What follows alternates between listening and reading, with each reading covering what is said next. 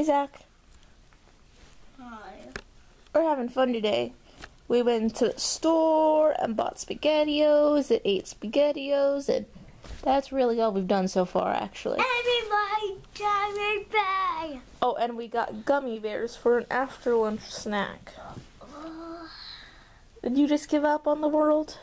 Is that what that looks like? No, I did.